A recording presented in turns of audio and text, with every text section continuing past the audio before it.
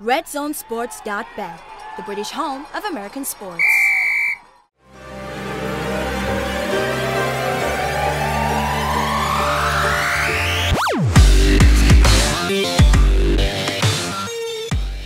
Hello and welcome to the Sports Heads, the NFL show for UK fans, which you can find every week on YouTube. In association with Red Zone Sports, we're bringing you the news, the views, and the game analysis ahead of all the weekend's action. We're looking at week 12 this week, and we're coming to the final stretch of the NFL season. We're going to take a look at some of the big games this week. The first one is probably not one of the biggest games, but it's certainly crucial in the AFC East. It's the New England Patriots hosting the sad sack Miami Dolphins. That's a tropical point. tropical point. Tropical point. point. Would be if they were playing yeah. in Miami. Uh, sad sack is pretty much the word for it. You've, you've described have, it. You've described yeah. it uh, almost perfectly. Dolphins Mi- have lost Miami's four in a row. A, they've lost four in a row. They're in a mm. tailspin. New England's on a roll, uh, playing some very good football. They've One had six. a lot of injury losses, mm. and they've been able to to cope with that. And uh, for Miami, the big point is that Matt Moore is going to be at quarterback. Jay Cutler's um, suffering from a concussion. He's in the concussion protocol. Mm-hmm. And we know what Matt Moore can and can't do. And, you know, he's kind of a fireman, and, mm-hmm. and you don't really want him as your starter. I don't think New England's going to worry about Matt Moore beating him. So now you're going to look for who is going to beat you, and that makes it easier to mm-hmm. stop Miami's offense. Interesting, though, you look at uh, Miami's uh, issues really, for me, it's an identity problem. They've had two seasons, or season and a half now in Adam Gase's system. They're still trying to find an identity. Hmm. What's the what's the problem with this? Well, I wonder if Ryan Tannehill hadn't been hurt, if they might have a little bit more offensive identity. Hmm. Bringing Jay Cutler in as the starter because he'd worked with Gase in Chicago seemed to make sense. But Cutler never really fitted even the offense that he ran pretty well in hmm. Chicago. It's strangely enough, it's a, it's a kind of heavy play action, mm. lots of short passes kind of thing.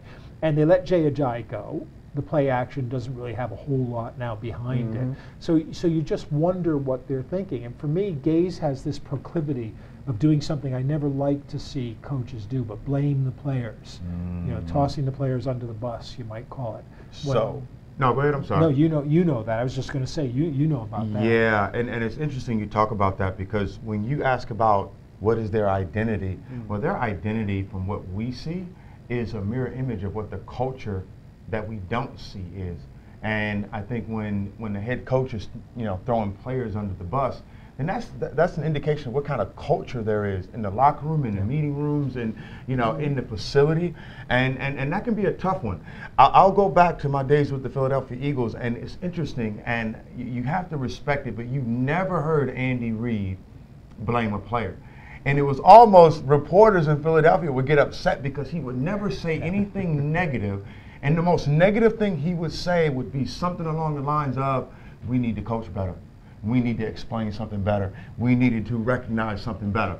Even when that was completely not the case, because Andy Reid was one of the most methodical coaches out there, and obviously based on his success, we know, you know, what kind of coach he is. So when you ask about what their identity is, I, I think we're, we're seeing it. Mm. And, and identity isn't just what you do on the football field. It's it's in the process to getting to that football field. Right. That that that Monday through Saturday, that off season, you know, that cultural dynamic that becomes the most important thing to any organization's success. You want to contrast?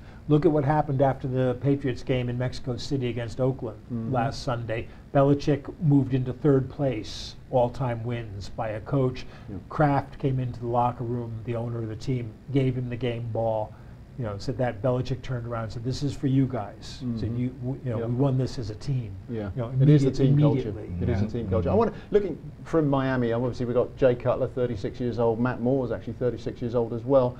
I just wonder whether it's time to have a look at David Fales. I mean, he played really well in, in pre-season, and I think. And he's another guy who came know, from Chicago. He may with, not be the answer, Gase. but then you know, Cutler it's a great Cutler point. It's a great point because you know what you're going to get and not get from Matt Moore. Now, mm. the argument against it is that they're they're um, what four and six, mm. but they're still in that playoff hunt. Yeah. This is what was so crazy about Buffalo, the team ahead of them at five and five mm. last week, starting a fifth round draft rookie yeah. with no experience when when their quarterback had you know had bad one bad game, yeah. their veteran Tyrod Taylor, you know, and and again, if I were Buffalo's coach, if I'm Sean McDermott, I just come in and say that was my bad You know, we put Mm-hmm. we put Nate in a situation where he wasn't ready for. We should have coached him up better. Mm-hmm. We'll move past it. Tyrod is back as the starting. It shouldn't be even a, a question, you know, as to how they go forward. With the Dolphins, I don't think you can go to Fales at this point, simply because you're still in the playoffs, and, Mm-hmm. and the message it'll be the message will be interpreted as, as we're sort of we're going to tank. Waving now. the white flag. Yeah. Yeah. And to that point, it's interesting. I, I have to agree with you on that one because there's there's two sides, and you kind of alluded to it. But they may it may be more important for Miami to have a game manager than risk someone who might be able to make something happen. And and we can believe and trust that he potentially could make something happen, but he may not be in the right place to really bet on that. That's a good point. Yeah, because Fales is by nature or by by by uh, accoutrements, his physical uh, abilities, a game manager. That's the kind of quarterback he would be. But you don't know that because he hasn't had that experience in what, what word was that you just used? accoutrements. The accoutrements. He throws a See, good we're- deep we're- ball. see, I think that's. I think that's a good we're- thing. We're say. educated on this show. See, We're educated. Yeah. I love it. That's that little three education. Oh, yeah, is that Wesleyan? Yeah, that's Is that Wesleyan I love it. I I'll, love say, I'll say one thing for Fales. He does throw a good deep ball. That's one thing we don't, you know, may not have seen. We've seen a little bit of it in pre-season. Um, Hmm. Looking at the Patriots, we've looked at the Dolphins a little bit. The Patriots, um, they've won six in a row. Their schedule at the start of the year looked pretty tough. But actually, It's been it's gotten really easier, It's got a lot easier. Yeah. I mean, they, they played four teams that boast a winning record, and they've lost two of them. Um, I just wonder whether or not you look at it. They're last the defensively. They're last in yards conceded. They are last in passing yards. Um, 24th in rushing defense. They're there to be exploited. It, it- the question is Who exploits them? is who exploits them, and what they do best is play situational defense. And what I mean by that is what you saw in the Super Bowl. Mm-hmm. They've got a lot better at that in the Atlanta gained a weeks. whole lot of yardage against them in that Super Bowl, but Atlanta was one for eight Mm-hmm. on third down, and that was a penalty. They didn't convert a single third down. Mm-hmm. And when it came to situational football in the four, fourth quarter, the Patriots were always a guess ahead of them. Mm. Atlanta would get a good play. Patriots would come up with a stop, then put them into a second and long. They, the Patriots would guess what's coming and guess right, and they're very good at doing that. Mm. They've gotten better because they've had to overcome losses, uh, This- player losses, especially Dont'a Hightower. I was going to say how, how big a you know we, at the start of the year we lost him for a couple of games. They looked very very shaky. It was Yeah. more communication than anything else from what I saw. Um, they've lost him now. They've only had a couple of games without him. They've not really had to worry He- he's a great games. player and, and very under under recognized because at the beginning of the year they tried playing him on the outside because they don't have a pass rusher. They mm. don't have a guy who's a natural pass rusher. So they tried him on the outside, but what happened was he aligns the team. He's that real inside linebacker thing where he knows what everybody on the team is doing. So the defense is better when mm. he's at that position. And he is a great inside linebacker as well. But they mm-hmm. needed him there. Kyle Van Noy has wound up being the guy now who's stepped into that role. And he's getting better at it as mm-hmm. as the weeks go on. And, and because he's in there and he's a three down linebacker, that means the other guys they've got they can use in those other positions get more rotation through and It helps them in mm-hmm. two ways. Offense, la- sorry, Steve. The last thing the NFL wants to see is a terrible Patriot defense getting better and better playing situational defense. True, because yeah. that offense and that team you almost have to think about it. They they play well enough to win and they play up to whatever their competition is. But at the end of the day they come in with so much confidence and bravado mm. that them being hot, I don't care how many teams under 500 they've already beaten. Hmm. The last thing you need is a team having that much more confidence going into this part of the year because that team right there, if they get hot at the right time, Yeah. and sometimes being hot isn't about necessarily how good of a team you actually are, but how confident you are in what you do better than the other person, and how confident you are in making adjustments if you decide you're going to beat up on us in the first half, i.e., the Super Bowl. You can almost look at the Patriots like Muhammad Ali. You know, they come in there and they'll just let you hit them, let you hit them, they slip you, they slip you, you know, and then all of a sudden, bam! Yeah. So the Patriots, I, I mean, like look, th- this game, Miami, you know, can they possibly come out with a win? No. Maybe. I'm an eternal optimist. Think but when you look at the. Patriot team, I think no, I just think I, I just think from a philosophical standpoint, you know, what they've been able to build. We could talk about the cows come home, but when you talk about this season in particular and where they are and the teams they have to play in order to get into the playoffs and then do what they do best at the time of the year where they do it better than anybody else. Oh, Yeah, They've they only figured got- things out, They've only got one team to play with, with a record above 500, and that's Pittsburgh at the moment. So you know, which is a big one because It is a big one that because could well could be, the home field AFC advantage. championship Yeah, it could be. The, game, It could be a, a prelude to that certainly. Um, one thing for me on the Patriots, uh, as the improvement has gone on, has, has uh, been the play of Nate Solder. I think that's a real key for them. And Well- also, what does Martellus Bennett bring? It's, it. Solder's important because so right now they were down to their third right tackle. Um, not that you would have noticed because they, they do a great job yeah. of just getting enough out of these guys. They had a backup center, and um, David Andrews missed his first ever game. Yeah. Ted Karras was, was in at center. Um, Solder has to hold up at that left tackle Mm. spot, and he, do, and he does a pretty good job. He's a lot like um, the guy he reminds me the most of is a guy called Matt Lepsis, who played for the um, Broncos for a long time. Yeah. He's got that same kind of ex tight end build, not like Jason Peters, who got bigger this Yeah. way, but He's but just but so and he relies a lot on, on quickness, on Mm. foot quickness. Um, to, to get his blocks, and a little bit like Matt Light as well, who was his predecessor at left Mm. tackle. Again, not an overwhelming guy, but a guy who would Solid, get into position yeah. and, and be solid. Bennett, what Bennett's addition means is that they can, if they're having problems, if they're facing a strong pass rush team, they can go with two tight ends, with Gronk and with Bennett, both of whom who can block a defensive end man on man Mm. without a, without a problem. Both of whom, if they're lined up as a flanker, can chip a guy and get, still get out and catch balls. And then, of course, they've got Dwayne Allen, who does the, who's another good blocking tight end. Mm. And then the fourth guy, Hollister, is a pass catcher. They can come at you now with the with exactly what they want: is a formation with two tight ends, or three tight ends, or two running backs, and you don't know where they're going to line up. And You know, one of those running backs winds up lines up at wide receiver. They'll put their fullback at wide receiver. Can you imagine Cecil out there split 15 yards with the Eagles? with the neck roll and everything. There you go. And, and guess what? The Miami Dolphins perennially terrible at defending tight ends, and they've been exactly the same this season. Yeah, yeah, and you know the Dolphins. This is we talk about the offense all the time, but Mm. Miami spent big money to build a great defensive front. Yes. And does anyone worry about their defensive front really? Do, do, do teams appear to scheme No. to avoid the defensive front? No. Not at all. No, exactly. They need, they need, especially offensive line. I mean, they've got to look in the draft. I'm, I'm thinking some someone like Brandon, Brandon Allen at um, at Auburn or Frank Ragnow at Arkansas. They really need a couple of guys in there. Some good young big lads that are going to do the business. So we'll see what happens in the draft. But Somebody who doesn't put a gas mask on and, and a bong when they go for the draft Oh. Right, the next Oh. uh, the next game we're going to look at. We, we obviously think that New England are going to win this. They're 16 point favourites. I think they're going to cover that's a big spread, It is a big yeah, spread, but- but this is Miami we're Yeah. talking about. Um, next game we're going to take a look at is the New Orleans Saints against the LA Rams. This is going to be a massive game. Um, playoff implications all over the place. The, uh, the Saints are eight and two. They've won their last eight. Uh, the Rams are seven and three, leading the NFC West.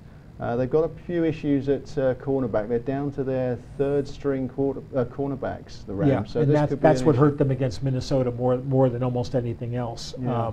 Because that game was pretty even coming Mm. out, coming out of halftime. In fact, the Rams could have easily had the lead at halftime in Yeah. that game. Um, And they were I- tight against they were tight against Minnesota. It was seven seven seven. Yeah, uh, 7-7 you the know, into the fourth quarter. and um, the the Saints were I wouldn't say lucky to win that game, They but 15 points down. but they the they, they had to come back, um, you know, and, and they got an amazing performance from Drew Brees Yeah, on those last two drives and, and in, in the overtime. And I and I think basically what happened was you know they had worn out. Mm. They'd worn out the opposition basically. Um, so I, I find this one really interesting, and the Saints are they're going to be playing Wade Phillips in a, in a three-four defense, which Mhm. They're pretty well adapted to working against, especially if they can run the ball. And that's been the big thing with them this year is an offensive line that's played pretty well. They didn't play as well as they had against the Rams, um, you know, version of, of that defense, Mm. but they um, they have opened the holes for the running game for Ingram and Kamara. And Sean Payton has proven very good at getting the best out of two, of- both of those guys, both of whom can catch passes. as They well. also love to run to that right side as well, but even th- even though they've lost the likes of Zach Strief early on, they still tend to run to that right side. It's a big strength on that line. A couple of key injuries as well for the Saints, which is, is more troubling.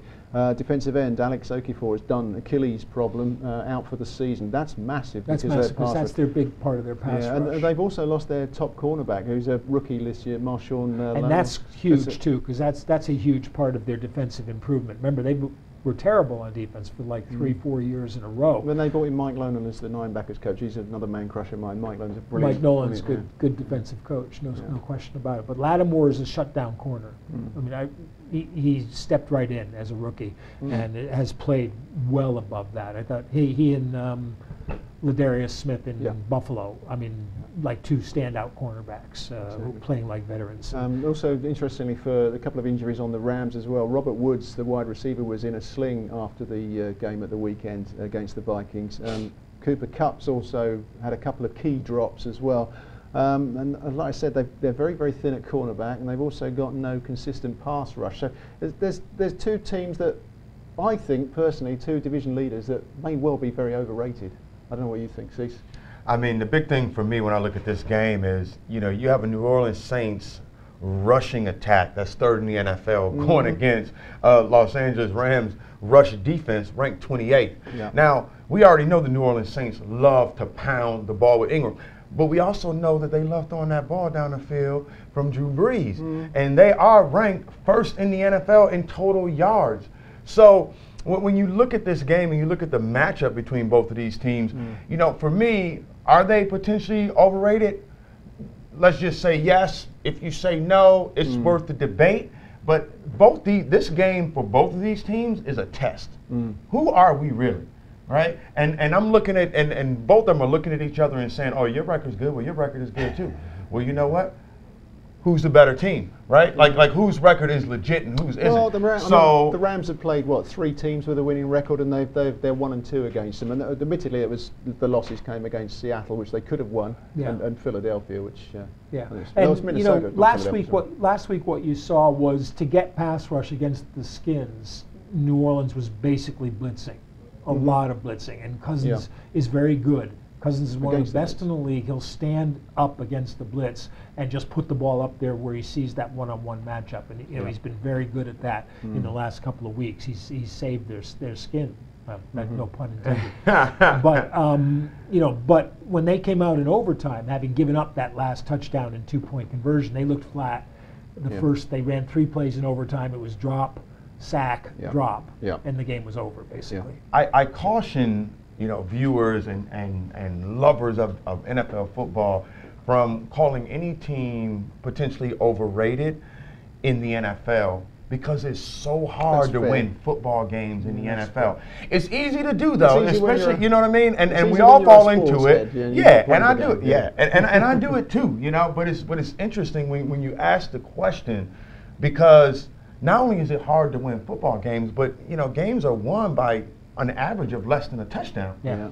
And, and, and it becomes real interesting. That's why head-to-head matchups of teams that have had success mm-hmm. is so key because I go back to that mentality of confidence, you know. And when you have rankings that are so like, I mean, all over the place, you almost feel like, oh, I already know who's going to win this Yeah, game, and they're yeah. going to win by X amount of points. And the beautiful thing about the NFL is that every week crazy things happen, and and that's why we love it. Giants beat the Chiefs Exactly. Any, who we got? Who we got, Mike, in this game? in this game. Cease. That's a While tough he's one. thinking about Uh, it. you think about that one because I you, would mean, have thought, you would have thought I had this all figured out beforehand. I'm, I'm probably It may going be to a little take. I'm early. probably going to take the Rams. Yep. Okay. oh. The Rams have the Rams have won three of the last four against Yeah, them. I'm going to check the Rams. injury situation. Yeah, but- it is a case of see who's but, in, who's yeah, out. but but I'm probably going to take the Rams. I worry about the Yeah. cornerback situation, but there again, you know, I don't see where the Saints are going to get their pass rush on without Okafor. It's a big, big adjustment for them. Mm, yeah, Cease? well, I, I- I see Drew Brees just continuing that number one 415 yard average. I see the mm. running game just beasting them up. And uh, I go back to my man Brees because he is a Purdue grad in the Big Ten, always showing love to my conference. Rams make a statement for me. Anyway, let's move on. Oh! Yeah, Rams make a statement. Let's go on to the third game we're going to have a look at. The Green Bay Packers at the Pittsburgh Steelers. Now, start of the season, this was one of the key games Yeah. to watch, but uh, without Brett Favre. Brett Favre, without Brett Favre. Without Brett Favre, with Brett Hundley. With Brett, Brett Hundley. Hundley's the There was a second Brett best. Brett to ever play quarterback in the Ah, that's good. You've been waiting to use that all week, haven't you? Did we get it first? We got it first for anyone else? Without Oh, Aaron man. Rodgers, fraudulent slip. Aaron Rodgers, it's uh, a broken collarbone. No, this is. it's I a different game completely. Yeah, I, and you know, it compounds things that Green Bay doesn't have. You know, who's their running back this week? Who knows? Yeah. You know, the injury situation is so bad. Um, their defense is. They lost Clay Matthews at the beginning of the game in in, in uh, la- last week, but they already have defensive backs out, linemen out. Um, I don't know what it is in Green Bay that bring. You know why the players are so brittle there, but they have been for the last Mm. two three years. And um, one theory is that a lot of the guys just aren't as good as they might be and are trying too hard. But you know, especially on the Mm. o, on the O line, they, they it's very strange the way they build a team. They, they build it almost exclusively through the draft Mm. and through signing undrafted undrafted guys. And, and at times you do have to supplement that. You know, with even with its, if it's street level guys, but they let they let Lang walk, they let Sitton walk. They Yeah. went their offensive line. You know, their tackles are good. well, yeah. Bulaga and um, Bakhtiari are good tackles, Yeah, but they're they're both injury yeah, prone. Um, and so you need that, that bit of continuity. So I don't really see many s- positives here. And, and Mm. looking at Brett Hundley, who, when he was at UCLA, played most of his career under extreme pressure. They weren't Mm. very good, and he spent a lot of time running and dodging from from um, the pass rush and, and throwing, which is what he's doing. Which is what he's doing now. exactly. he's had a lot of experience. But when you look at how Green Bay's offense functions, it's still, even with him at quarterback, is still basically sending four guys out one on one Mm. and waiting for one of them to get open. They do not do a lot of scheming to get guys open. You don't see a, a whole lot of, of that kind of work. Um, you don't see enough, I think, of guys out of the backfield, which I would love, especially when you have like Randall Cobb lining up at running back or Ty Montgomery lining up at running at running back. So I, I just think they need to be more creative, and they're not going to be. And Pittsburgh have this unfortunate habit of playing down to the level of the team Yes, that they're true. playing, which This is my true. only hesitation in this one. The interesting thing from my point of view is uh, the fact that I'm going to bring him up regardless. Colin Kaepernick. Now they've sat there with Brett Hundley, so he's been in the system three years. He knows exactly what he's doing, uh, but the, the production is dreadful. Um, whether that's offensive line or anything else, they've still got the set of wide receivers. It's fine, but you, I personally want an experienced backup, and they had the opportunity to bring him in. And didn't Well, you know it. who their backup is. I was watching them warm up last week, and, and you see Hmm. his name on the back. It's Callahan. I think Bo Callahan is in the is in the NFL. The Right. guy from draft day, It's, Wow. the, it's the quarterback they were all after. That's funny. Kevin Costner. You know what's, what's Yeah, interesting? Kevin Costner could be Kevin the GM. Ah, Oh, you know the, Um, the interesting thing about uh, Colin Kaepernick. Um, when they had a chance to get him, was that before or after Colin Kaepernick um, filed his suit against the NFL? That was before. It was, It was before. Yeah, okay. They had the opportunity But to do his that, agent came out, yeah, around that time. So But- a little but- bit after that, his agent came out and said, you know, he expected him to get signed in the next week and a half, and the suit would go away. But but here's the but the, the other question though is is when did Brett Favre get hurt? Did he get hurt after he filed the suit or before he filed the suit? Before. Oh, he did. Okay, so it all happened beforehand. Okay, Mm-hmm. interesting. Steelers We knew who you meant. Steelers have been winning ugly, but they Yeah. need to improve their red zone efficiency. Well, That's the problem with the Steelers, I, well, the problem with the Steelers is also the strength of the Steelers. Mm. They're a big play team with big play players. They got guys. You know what coaches always say: go out and make a play. Go out. Mm. They got guys who can go out and make Yeah. a play. So they don't really, they don't need to scheme as much as, as most teams do because Ben will sit back there. Mm-hmm. Yeah. He'll make an extra second for himself, and then he'll find Ju- Juju, Juju Mhm. Smith. Juju Schuster. What, a, what an addition that is. He he fits them perfectly. Mhm. Antonio Brown, who is pound for pound the best receiver in the league, Mhm. um, without a question. Martavis Bryant, who has a little bit of should be motivated right Yeah. now to play his butt off for those guys, and Le'Veon Bell, who can you know run him 30 times and throw 10 passes to him if that's what you got to do. And because they're a big big play team, their third down efficiency is not great. Uh, You know, that, that's something they need to. Yeah. The third down offense needs to improve on. Their tackling needs to improve as well because that's been a bit of a weakness for them. Um, And I just saw Gilbert is suspended, their tackle. Yes, that's right, um, yeah. for a, uh PED violation. Yes, it's not going to help them. I think one, one star that stands out for Pittsburgh for me has been Cameron Heyward. Um, bearing in mind they, they play a 3-4 and uh, the linebackers tend to get most of the sacks, uh, he's been an absolute monster. Yeah. Been And well, and, and I like J- Javon Hargreaves in the middle too, because I think Mm. he's he's got nose Yeah. Mm. tackle plus. Um, and it was Casey Hayward. I think it was the last Yes. great great nose tackle they Yes, had. He's got a lot of those kind of characteristics. Yeah. But if you can get anything from your front three in a three-four, then it's Mm. a big plus. Which is why Bruce Smith was such a great defensive end because he could play as if he were a four-three end in a three-four defense. Um, they're much more aggressive than they were in the, in the Dick LeBeau days. Um, That's fair. And um, I think better now in the back end as, as a result. Um, Mm. You know, Troy Polamalu was a great player, but for those last couple of years, they were depending on him to be Mm, everywhere. He was, you know, he'd been beaten up over Yeah. the years. He couldn't get Yeah. everywhere. He was guessing more often than not. Exactly. Well, I could tell you this about the Pittsburgh Steelers, and, and look for Mike Tomlin to really be harping on, on something this week that's going to play to a disadvantage to the Green Bay Packers. And that's, you're right, they've been playing down to the teams they play, mm-hmm. and they win kind of ugly, and they, Yeah. they don't win at the level they should. You know, when I was in the NFL, you know, there were times when we would start slow, and, mm-hmm. and then the mantra became start fast, start fast right? I mean, he. I mean, look for Tomlin to come out with some quick throws right away and then take some shots. Yeah. Look for him to say we need to get used to starting fast and putting our foot on a team's neck mm-hmm. right away, and not just easing through and allowing our big playability to end us, you know, with the win because he knows. The closer you get to the playoffs, the, the more important the games are. And if you do get to the playoffs, if you're starting slow, well, you have a chance of ending your entire season at that point. Yeah. So he wants them to begin practicing starting fast. Yeah, teams, people talk about fourth quarter comebacks. Yeah. I want a quarterback who's going to give me a second quarter lead, Mm, so I can set my pass rush. open. Mm. Now I know they're going to have to throw. We're going to Mm. come at. We're going to come at you. It makes life so much easier. As a Dolphins fan, I hear you so much. They're not a first half team. Um, the Green Bay Packers have lost the last four trips to Pittsburgh. I think we're all in, con, you know, Yeah. uh, agreed that Yeah. Pittsburgh are going to win this game. Yeah. Going quickly back to Green Bay, their next two games after this are against the Browns and the Bucks. Now they're two very, very winnable games. They're five and five at the moment. Do they miss the playoffs? Yes. Cease? Yes. I mean, it's, it's a no-brainer. Look at the numbers. I mean, Even if what it is. Aaron Rodgers comes back in Week 15. I don't think he comes back in week 15. Nor do I. First off, I mean, even if he's, even if he's healed, I don't think he's ready to come back, and I probably wouldn't want him to come back.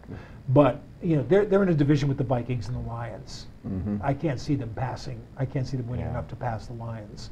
So that that's going to be tough to get a wild card. Okay, let's crack And on with flow. the. Yeah, exactly. Their, their, their flow, you know, is already kind of damaged Yeah. right now, and so it's, Mm-hmm. it's more of a matter of seeing who's going to really step up and going to be around for the long con. Exactly. Let's have a look at uh, the Houston Texans at the Baltimore Ravens. Now, this has uh, very much wild card implications looking at the way the AFC is shaping up. Uh, the Houston Texans are four and six, uh, just on the cusp of uh, playoff places, believe it or not, and uh, also the Baltimore Ravens. They're actually just about in a wild card spot, I believe, at five and five. So, um, where do we see this game going? James? Air Savage. he got his Unless first win. See, he played pretty well. Savage.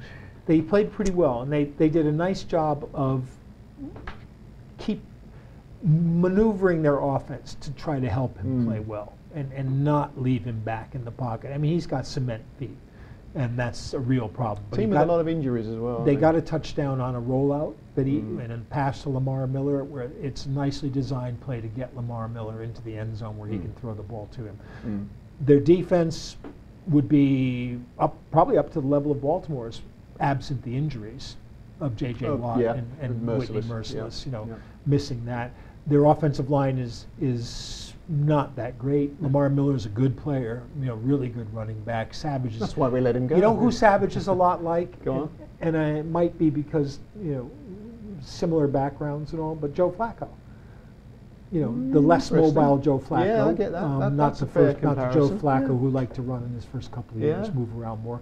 But but he's not up to that thing. And Baltimore's offense is negligible, to be honest. You know, they, you know, it's Flacco. Think of Pittsburgh, Yeah. and it's Pittsburgh's offense, but without the playmakers. Yeah, I mean you've You got know. Jeremy Maclin in there who, who has a, Yeah, he's had a bit of a shoulder in- injury, who's yeah, starting to. Yeah, he's their best weapon. Yeah. You know, uh, although they did manage to get Mike Wallace involved, and, and that Nice was to see, isn't wa- it? Mm. You know, remember those games with Baltimore when they were winning? It was like twice a game Yeah. Joe Flacco hits a long pass, and three times a game he gets a pass interference penalty. So that's Mm. Yeah. five big plays a game. But this was a beautiful pass to Wallace. He made a great catch uh, for a touchdown. And Danny Woodhead's fit again as well, which is a big Which, outlet. which will help them Yeah. Mm. a bit too. But that defense is out of sight. They're playing really, really well.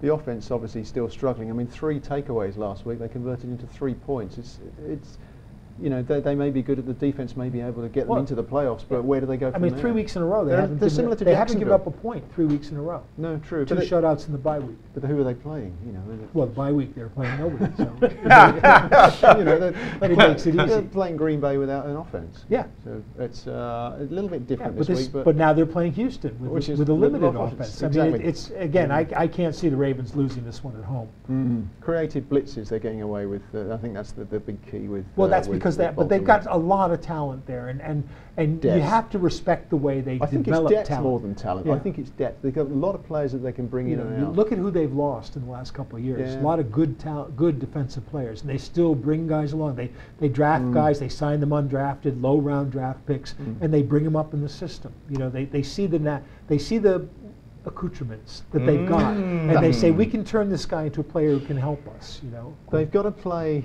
Obviously, if they get past Houston, which is no gimme, but it, that you'd expect them to win this. Um, they've got to play Detroit and then they've got to play Pittsburgh. But the last three games are winnable. So I think yeah, you know you, they, you look got and they got Cincinnati at home. Yeah. I think, if I'm not mistaken. I think they're a wild card team. yeah, I, I, think I, agree. I think, they're a good bet for a wild, card, team. Yeah. Guy, you think the same, Cease? or- Nah, man, you guys just broke it down. I just, you know, Yeah, just that's hanging that's out. fine. You hang out. you hang out. Right, cool. I think that'll do us for, the, for this show. It's been uh, an absolute pleasure as always. Thanks again, guys. Mike Carlson, Cecil Martin, Simon Millam. We'll hope to see you soon. Keep watching YouTube every week. Don't forget, we are the Sports Heads. RedZoneSports.bet, the British home of American sports.